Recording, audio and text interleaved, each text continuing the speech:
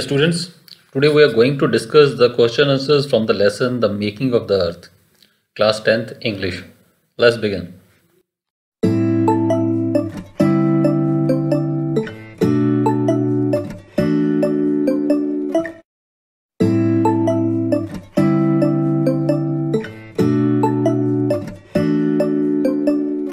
Okay पहले short answer questions की बात करें तो फ़र्स्ट क्वेश्चन है व्हाट आर प्लैनेट्स प्लैनेट्स क्या हैं ग्रह क्या हैं द हेवनली बॉडीज़ वो हेवनली बॉडीज़ आकाशीय अंतरिक्ष के पिंड, वो objects which go around the sun जो कि सूरज के आसपास सन के आसपास घूमते हैं आर कॉल्ड प्लैनेट्स उनको प्लैनेट्स कहते हैं, ग्रह कहते हैं. The earth we live on is also a planet और ये जो धरती जिस पे हम रहते हैं, ये धरती, ये अर्थ ये भी एक प्लानट है.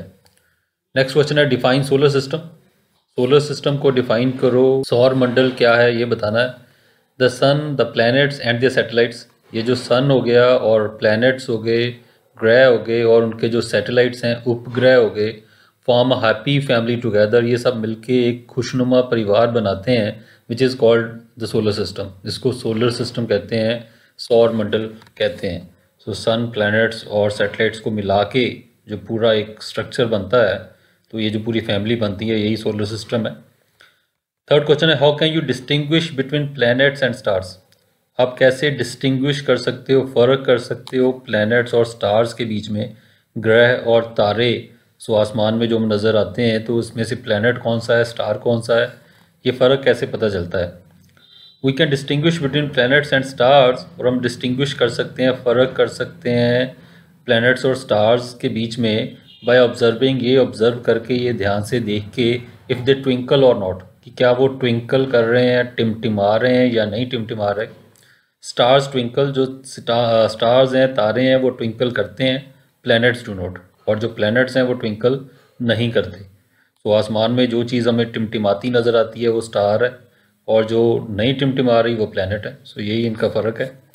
क्वेश्चन नंबर फोर है why do the stars twinkle stars क्यों ट्विंकल करते हैं? अभी हमने बात की पिछले क्वेश्चन में स्टार्स ट्विंकल करते हैं, टिमटिमाते हैं तो ऐसा टिमटिमाते क्यों हैं? Stars are very hot and burning जो स्टार्स हैं, जो तारे हैं, बड़े हॉट हैं, गर्म है और बर्निंग जैसे जल रहे हैं, इतने ज़्यादा गर्म है। They have their own light इनकी खुद की अपनी रोशनी है। They are so far away from us ये हमसे इतनी ज़्यादा दूर हैं that some of their light gets bent कि कुछ जो इनकी लाइट है, जो रोशनी है, वो बेंट हो जाती है, वो मुड़ जाती है बिफोर रीचिंग अस हमारे तक पहुँचने से पहले क्योंकि इतनी ज़्यादा दूरी है तो उसकी वजह से थोड़ी लाइट बेंड हो जाती है, टेढ़ी हो जाती है making them seem to twinkle और उसकी वजह से ऐसा लगता है कि ये ट्विंकल कर रहे हैं, टिमटिमा रहे हैं। सो नेक्स्ट क्वेश्चन है question number five how was earth formed earth कैसे बनी? धरती कैसे बनी? Earth was earlier a part of sun धरती पहले तो सन का हिस्सा थी। It somehow got loose so किसी तरह ये लूज हो गई ढीली हो गई and shot out of the sun और सन से शॉर्ट आउट कर गई विस्फोट होके बाहर आ गई। सो so, सूरज का ये एक टुकड़ा थोड़ा ढीला हो गया और उसमें से निकल के बाहर आ गया। It was very hot earlier और ये पहले तो बड़ी हॉट थी गर्म थी बट लेटर कूल डाउन और बाद में वो ठंडी हो गई। और यही जो टुकड़ा है यही अर्थ है यही धरती है जो सूरज से निकली और बाद में ठंडी होके प्रॉपर अर्थ बन गई। और सिक्स क्वेश्चन है how are oceans and seas formed oceans महासागर और सीज समुद्र कैसे बने? When the earth cool down जब धरती ठंडी हो गई all the water vapour in the air तो जितना भी वाटर वेपर था, वाष्प कन थे, हवा में पोर डाउन वो नीचे गिर गए as heavy rain heavy rain की शक्ल में भारी बारिश हुई वाटर वेपर वाटर में चेंज हुआ, और काफ़ी तेज़ बारिश हुई। All this rain water filled the great hollows और ये जो सारा रेन वाटर था बारिश का पानी था, ये जो ग्रेट होलोज थे बड़े बड़े जो गड्ढे बने हुए थे इन द अर्थ धरती के अंदर सो उनमें ये पानी सारा भर गया फॉर्मिंग ओशंस एंड सीज़ और इस तरीके से ओशंस और सीज़ बन गए, महासागर और समुद्र बन गए। So these was the short question और अब हम बात करेंगे द लॉन्ग आंसर क्वेश्चंस की, और लॉन्ग आंसर क्वेश्चन दो ही हैं हमारे पास यहाँ पे। पहला क्वेश्चन क्या है?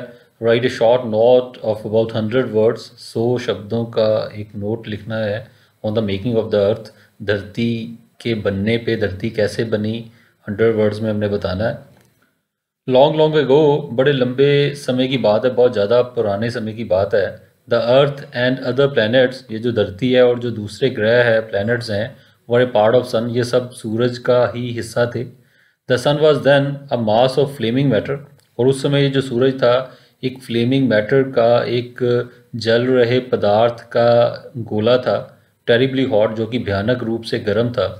सम हो किसी तरीके से लिटिल बिट्स ऑफ़ सन छोटे छोटे टुकड़े सन के गॉट लूज ढीले पड़ गए and shot out into the air और हवा में विस्फोट करके बाहर निकल गए।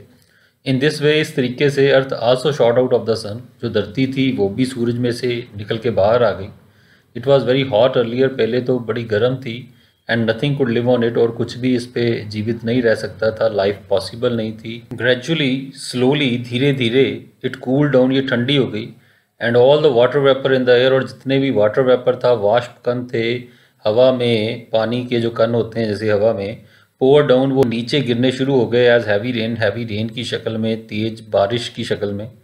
All this rain water filled the great hollows और ये जो सारा रेन वाटर था न, आ, बारिश का पानी था उसने उन ग्रेट होलोज को, वो बड़े बड़े जो गड्ढे थे, उनको भर दिया इन द अर्थ धरती में। फॉर्मिंग ओशंस एंड सीज और इस तरीके से ओशंस और सीज बन गए, महासागर और समुद्र बन गए। As the earth became cooler और जैसे जैसे धरती थोड़ी ठंडी होती गई and the oceans also became cooler और जो ओशंस थे, महासागर थे, वो भी ठंडे हो गए इट बिकेम पॉसिबल ये संभव हो पाया for living things to exist on the earth surface कि जो लिविंग थिंग्स हैं, जो जीवित प्राणी हैं कि वो ज़िंदा रह सकें धरती की सतह पे और इन द या समुंदर पे तो उनका रहना भी, जीवित रहना भी संभव हो पाया। तो इस तरीके से धरती बनी। पहले भी हमने यही बात की है, जो शॉर्ट आंसर क्वेश्चन हैं, उन्हीं को कंबाइन किया यहाँ पे। तो बात यही है कि पहले अर्थ और प्लानट सन का पार्ट थे, और बाद में वो शॉर्ट आउट करके बाहर निकल गए, धरती भी सन में से बाहर निकल गई। पहले बड़ी गर्म थी, बाद में धीरे धीरे ठंडी हो गई, फिर बहुत तेज़ बारिश हुई।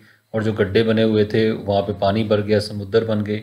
सो इस तरीके से पूरी धरती बनी और बाद में धरती ठंडी हो गई लाइफ पॉसिबल हो गई। सो ये सारी बातें हमने यहाँ पे भी की हैं। और लास्ट क्वेश्चन है write a few words on the happy family of the sun कुछ शब्द लिखो ये खुशनुमा जो परिवार है सन का, सूरज के परिवार के बारे में सोलर सिस्टम के बारे में, सौर मंडल के बारे में हमने बात करनी है। The sun the planets and the satellites ये जो सन है, सूरज है प्लैनेट्स हैं, ग्रह हैं और दिए सैटेलाइट्स उनके जो उपग्रह हैं form a happy family together ये सब मिलके एक खुशनुमा परिवार बनता है। The sun is the father of this family जो सन है, सूरज है, वो इस परिवार का फादर है, पिता है हेड है, मुखिया है। The earth and the other planets और जो धरती है और जो बाकी प्लैनेट्स हैं वो earlier a part of the sun ये पहले तो सन का ही हिस्सा होते थे। These planets shot out from the sun ये जो प्लैनेट्स थे, वो शॉर्ट आउट करके, विस्फोट होके, सूरज से सन से बाहर निकल गए and now revolve around the sun और अब ये सूरज के सन के आसपास इर्द गिर्द घूमते हैं, चक्कर काटते हैं। द सेटेलाइट्स लाइक मून और जो सेटेलाइट्स हैं, जो उपग्रह हैं, जैसे कि मून है, चंद्रमा है रिवॉल्व अराउंड द प्लैनेट्स ये ग्रहों के प्लैनेट्स के आसपास चक्कर काटते हैं। जैसे प्लैनेट सन के आसपास घूमते हैं तो जो उपग्रह है, जो सैटेलाइट्स हैं, वो प्लैनेट के आसपास घूमते हैं। This happy family is called solar system ये जो खुशनुमा परिवार है, इसको सोलर सिस्टम कहते हैं, सौर मंडल कहते हैं। बिकॉज़ सोलर मीन सन और ऐसा क्यों कहते हैं? क्योंकि सोलर का मतलब होता है sun Suraj which is the head of this family जो कि इस परिवार का हेड है, मुखिया है तो फादर है। तो उसके नाम पे इस फैमिली का नाम पड़ा, इस फैमिली का नाम पड़ा सोलर सिस्टम सो इस तरह ये खुशनुमा परिवार बना। सो सबसे ऊपर जो है सन है सन के नीचे प्लैनेट्स हैं प्लैनेट्स के नीचे जो उपग्रह हैं सैटेलाइट्स जो हैं तो वो आ जाती हैं तो सब मिलके एक हैप्पी फैमिली बनती है। So that's what the answer is so बहुत ही सिंपल क्वेश्चंस और सिंपल आंसर्स हैं। I hope you find this video useful will meet once again in our next video goodbye till then thank you God bless you